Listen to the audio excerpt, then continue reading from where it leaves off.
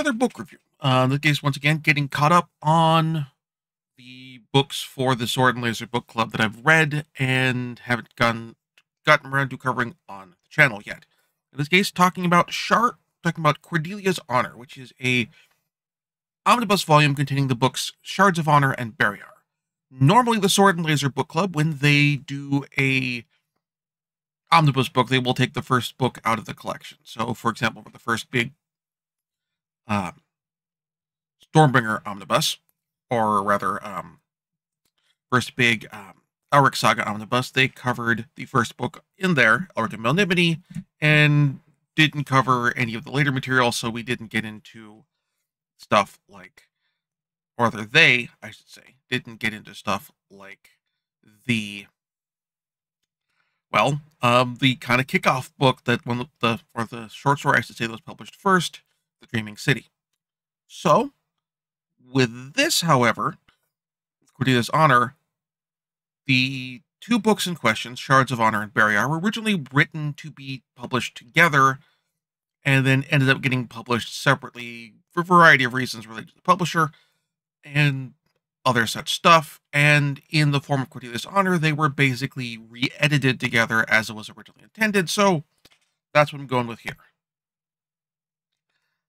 Now, with this in mind, I am going into this knowing that the Vorkosigan saga is a big epic series of books with a whole slew of sequels, all many of which focused around the child of the two main characters, Cordelia Naismith Vorkosigan and Aral Vorkosigan, one of which I've read already, um, which was the the title just blooped out of my head as I'm saying this, even with script outlines in front of me. Uh, Captain Vorpatril's Alliance. There we go. So, complete with knowledge of that, hey, the series goes on, and having read Captain Vorpatril's Alliance already, that I'm like, okay, I know going in that there is a certain degree of it's going to work out going on here. So the question becomes, from my perspective, how do these two books hold up when there's only one destination that they can arrive at, or at the very least, where you know what the ultimate destination is going to be, that Miles Vorkosigan is going to be born? And the answer is extremely well. The first half starts off with a sort of enemies to lovers story as Captain Cordelia Naismith of Beta Colony gets stranded on a world that she's surveying alongside the commander of a rival expedition, Volkos- Admiral Vorkosigan of Barrayar. They, um, Naismith got stranded because her expedition is attacked by some of Vorkosigan's people when Vorkosigan's political officer is attempts to assassinate him due to internal political complications on Barrayar. The two of them, two of them then have to trek cross country, bringing along a wounded member of Naismith's expedition until they can get to a supply cache or for Vorkosigan expedition to try and get help, with the two coming to terms to, with feelings they have for each other over the journey.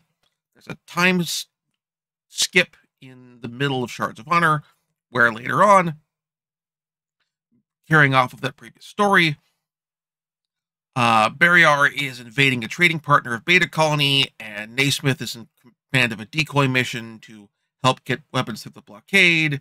It's successful, but she's captured and she's on. Remember, she's on the ship that Vorkosigan is ostensibly in command of, but not in command of the whole expedition. And worst, the actual commander of this offensive is a depraved, sadistic scumbag. And they get out of the situation.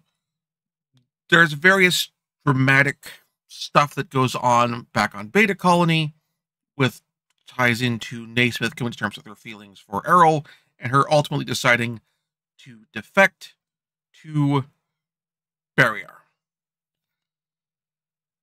That first part, generally pretty good. I do need to give a content warning for discussion of sexual assault in that first section and an, and an attempted sexual assault. But I think that first part holds up very fairly well there is some issue with how to put this gracefully. The second half of the book, because it because it was re this this was split up, and the second part was published later.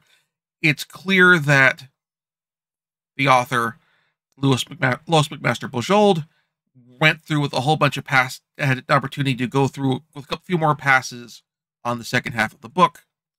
But when these two were recombined together into a single book, she may not necessarily have had the opportunity to give the same treatment to Shards of Honor, or at least how I've read this, because I read these as the two separate volumes, Shards of Honor and Barrayar, as opposed to the combined Cordelia's Honor book. So, this leads to issues with the depiction of mental health and treatment thereof between the two. To make a long story short,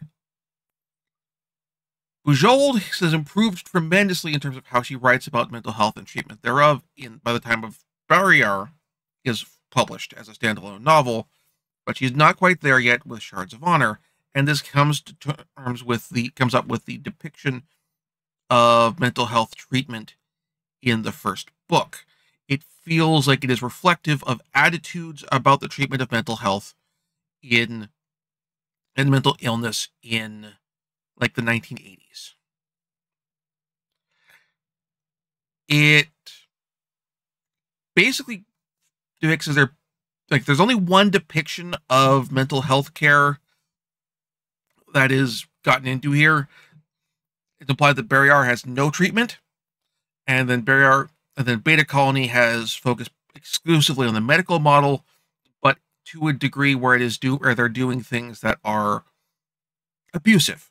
Um like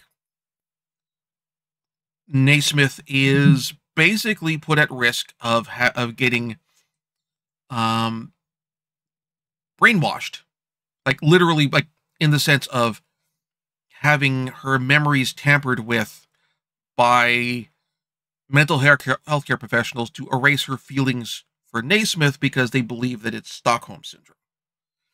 Um, and that's what pushes her like that. That's the final push for her to decide. Okay, I'm leaving Beta Colony and I'm going to spend the rest of my life on Barrayar with Captain with um, Admiral Nace with Admiral Vorkosigan and cut all my ties, burn my bridges, etc. And that's the impetus for that. And like you can't totally get rid of that because you need to have something beyond mm-hmm. because as far as for just like love is a powerful thing. I guess and I suspect that Bujold felt that it wouldn't fly in a speculative fiction novel to have someone throw away all their ties back home and go off to a country that you were previously at war with, like fairly recently at war with, all for the sake of love. That that's something where perhaps Bujold or her editor felt that hey, this will fly in fantasy, Fantasy readers will buy this.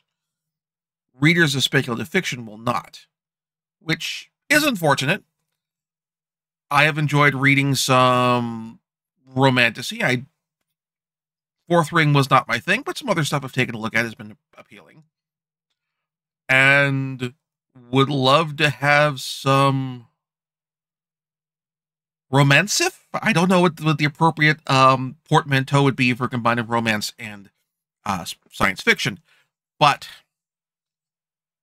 in either case, that I'd love to have, and certainly enjoy having some of that. But by having their particular first additional push be this, didn't quite work with me. And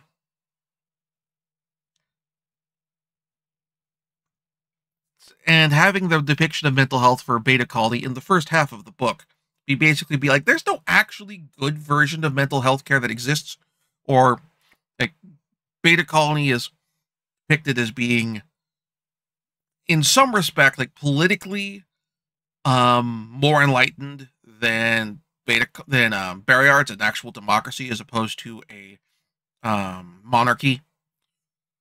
It's depicted as being like we don't get into like sexual politics, but it's certainly depicted as being more enlightened in terms of gender politics. Um, women being able to hold any degree of job and hold and work in particular position. Um, and I don't want to get into the trap of assuming that the views endorsed by the main character in any installment of science fiction are the views of the of the author. But this is something that comes up a lot in science fiction writing as well. Um, this is one of the issues that comes up with Heinlein. This is one of the issues that comes up with, um, which, which can come up with Asimov. It is definitely something. Like, there are multiple issues of science fiction writers where basically it's they're writing their their world of that they've created in their science fiction is 100% reflective of their personal politics. And I don't want it, but I also don't want to to assume that to be 100% the case either. Um, otherwise, like the first half, solid. And the, sec- the second half, though, is a tremendous improvement because the focus here is on Barrayar. And like part of the other issue here is we don't get a good look at Beta Colony societally and politically. Um, we spend very little time there uh, before Cordelia bails. And by contrast, Barrayar, the second half of the book, Barrayar, is just on Barrayar. We are spending our time there. We are steeped in the society. We are learning about the higher upper class portions of it because that's where the Vorkosigan family lives. Um, they are Vor, which is the upper class, the, the Vor prefix of the name. The way I would describe it is if they hadn't written it as Vorkosigan all one word, is you'd write it like Vorkosigan, at the same way that you would see a um surname of Va of Von um in like an Prussian noble name in works of historical fiction or that sort of thing, or Prussian or German in that regard. Similar sort of situation there. Uh, and consequently, with the second half of Barrayar, we are again we're strictly in in in Barrayar, and we are seeing the society from this outside perspective. On the one hand, um, this also gives us actually we're not going to. By the one hand, I'm not saying like saying this in the terms of contrasting. Let me back that up. First, this gives us a fully outside perspective. Um, Cordelia is coming in as a outsider from Beta Colony. And so we are seeing this through her outside perspective, and she's she's approaching this from a I'm going to have to live here, so I have so I can't I can't just hate it. I have to come I'm going to have to come to embrace this in some degree or another. But there are things from beta colony society that she likes. And this in turn gives us, in a weird way, a tremendously better view of the entirety of beta colony and how it works, society, and a lot of the ways it works, because we are hearing it from a native of that society and contrasted with Barry Barrayaran society.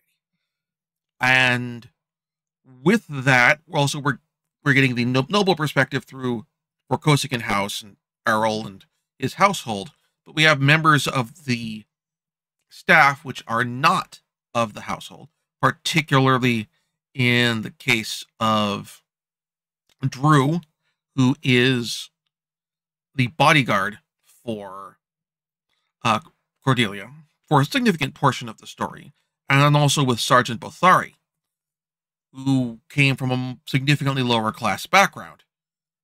And so we have these contrasting perspectives of people from different walks of life, and we get to see the wider scope of society. And also because we, um, Cordelia is a outsider, interact from a generally better off society. Better off is not necessarily the best word, but a more enlightened isn't either. A more politically equitable society than Barrayar is. She is also able to recognize and highlight the inequities of Barrayaran society with the treatment of Sergeant Bothari as someone who is explicitly described in the text as having schizophrenia, um, with varying degrees of him receiving treatment. The way that Aral is viewed when it, it comes up in the story that he's by, The way that Miles is talked about after partway through the story, Cordelia is attacked, or and Aral are subject to assassination attempt. They're attacked. They are attacked with poison gas, and the impact of that attack is it means that Miles is going to have physical disability, have a physical disability. And Drou, Drew Snikovi, we have how she's perceived from being a woman who wants to work in men's fields and in terms of like soldiering and bodyguard and that sort of thing. And then look, check one thing real quick. Let me make sure I'm pronouncing character name correctly.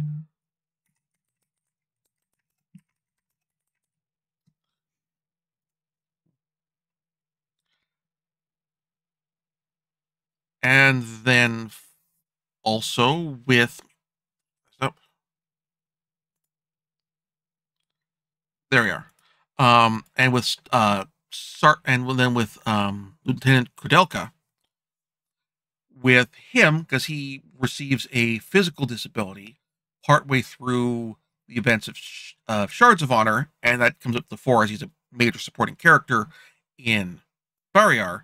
We also see how disability is is currently presented in and how people with disabilities are treated in current Barrayaran society, thus in turn giving a giving development into well, one, what is Miles going to end up facing when he grows up, not just in the terms of what he's currently receiving from his politically conservative grandfather, but also later on as he gets older um, just general stuff he's going to face as he's going through life. And it gives a really good depiction, I would say, of all of these aspects and appropriately critical of them when it comes to like the the inequities of of Barrayaran society, which I think is significant because one of the issues we occasionally run into with military science fiction in general, particularly when coming to depictions of aristocratic societies, is there is a sense of not necessarily getting too critical. This is a problem which, for example, the Honor Harrington books get run into on a few on more than a few occasions. Um, is we're not necessarily seeing these seeing the wider picture of the various aristocratic societies and depictions there. This is also like like to an extent we get a little bit of this with Legend of the Galactic Heroes. Like this is like this is a, a persistent background noise of military science fiction as a whole. Um some handle this better than others, but I really appreciate in this particular case Bujold taking this basically big societal deep dive into Barrayaran society. And we see its inequities in a lot of forms, both in terms of the just general like societal practices, but also like they're willing to be certain degree representative of that there are appeals to living on Barrayar as well. Beta Colony is a more hostile world to live on than Barrayar is.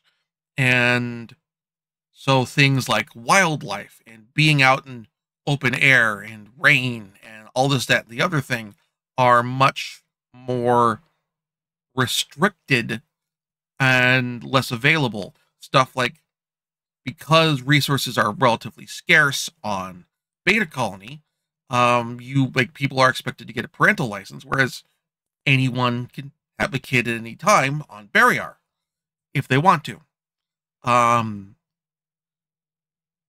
and on, on the other hand, a beta colony, they have birth control implants. And because related to this, they have birth control implants that people can turn off when they've gotten their license and have found a partner who they're going to have a child with and that sort of thing.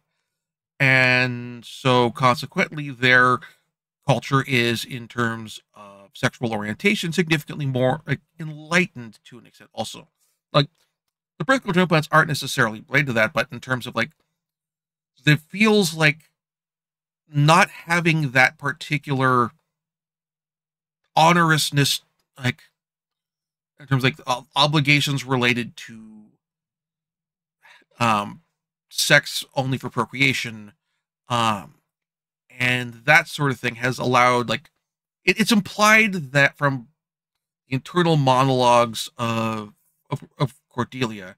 Plus a little stuff i've seen about later where like people being bisexual on beta colony or gay or trans or polyamorous is normal and acceptable and everyone's okay with that.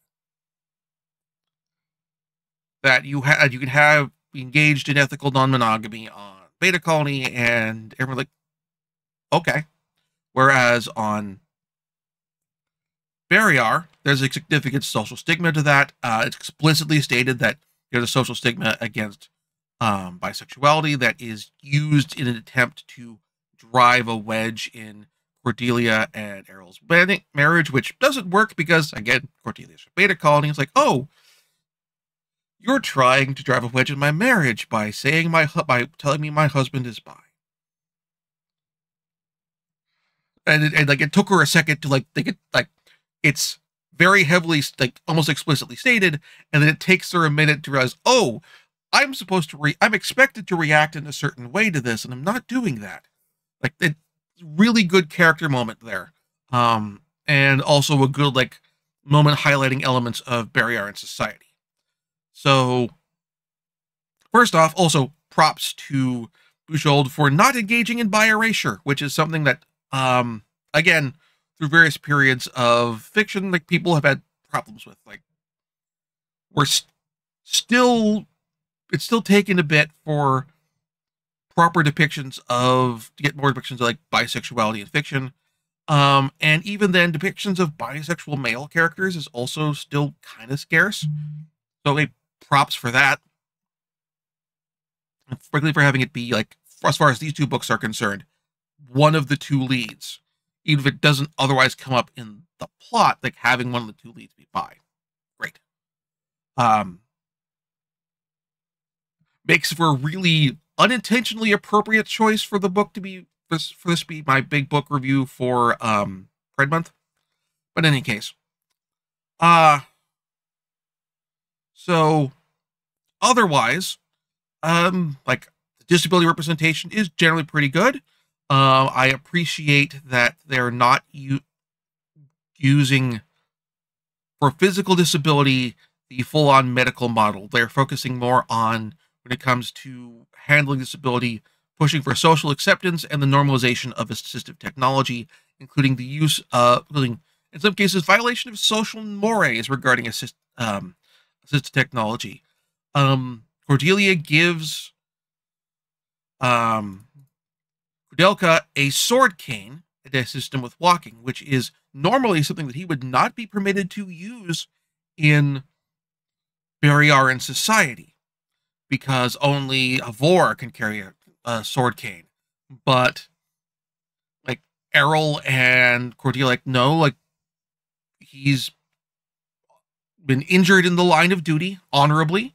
Um, and he is a and like this is not just in terms of justifying to themselves, but justifying to society. This is a man that was honorably injured in the line of duty, and he is a valuable portion of, portion of our staff. So the sword cane is his standard issue equipment for his uh, position. So you can't deny him access to deny him this valuable thing in this society where buildings aren't aren't designed to be handicapped and wheelchair accessible. So, Like that that's great. Like I'm I'm glad to see that disability representation there.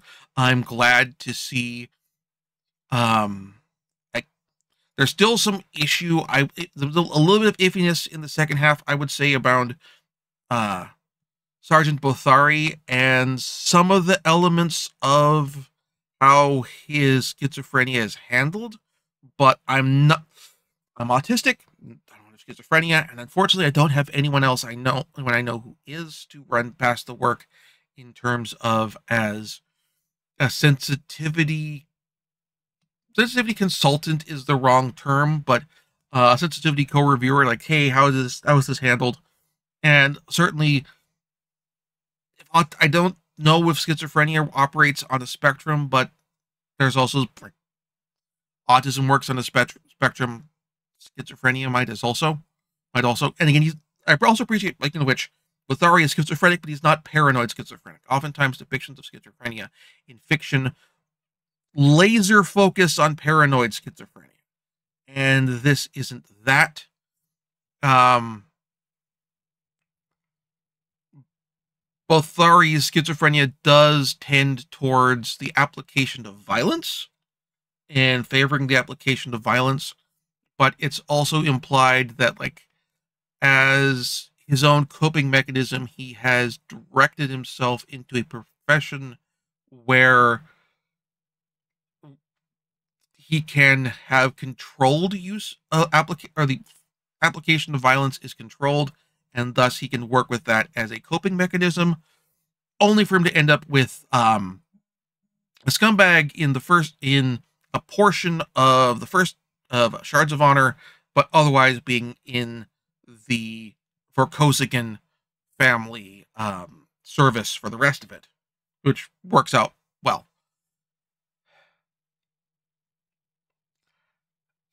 In all, I enjoyed these books. Uh, I definitely get why this has led to such a significant series, and I am certainly going to, in the future, read through the rest of the Vorkosigan saga, um, time permitting. It's, but yeah, like I, I'm glad I took the moment to took this opportunity to go back to the beginning. When I read Captain Vorpatril's Alliance, I felt lost. I felt like, I mean, I knew I was jumping into the middle of the story, but I wasn't quite sure where to begin. And at the time, like, I want to say I was in either like senior high school or entering college, like entering or going to college at that point. And so I don't know how much resources there were for reading orders at that time. But in any case, I jumped in here and I think that was the right choice. Um I absolutely 100% enjoyed enjoyed this book and I am glad that I have that I read them or read these books and I definitely recommend. I will have links where you can get them in the doobly doo. Um, please, if you check checking anything or buying anything through those links, um, definitely helps and supports the blog.